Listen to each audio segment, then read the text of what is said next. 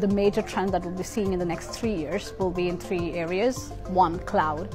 The second one, operation technology. And the third one in government uh, regulations such as GDPR.